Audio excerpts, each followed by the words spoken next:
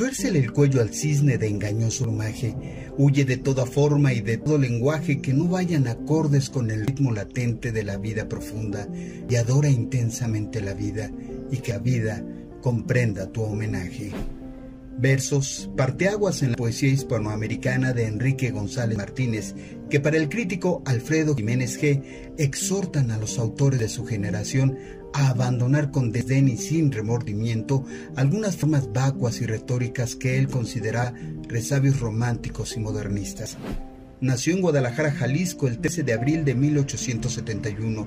Médico cirujano y partero, residió desde 1896 en Sinaloa el aliento poético de juventud no fue asfixiado por las obligaciones familiares. Entre el instrumental médico cargaba los poemarios que de 1907 a 1911 salieron a la luz, lirismos, silentes y los senderos ocultos. De inmediato arribó al Parnaso de las Letras, ingresando a la Academia Mexicana de la Lengua y al Ateneo de la Juventud.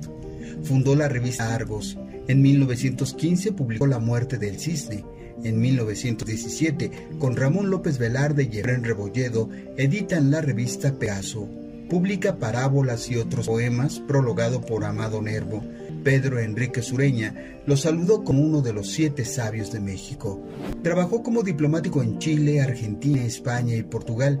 Publicó en los años 20 La palabra del viento, El romero alucinado y Señales furtivas.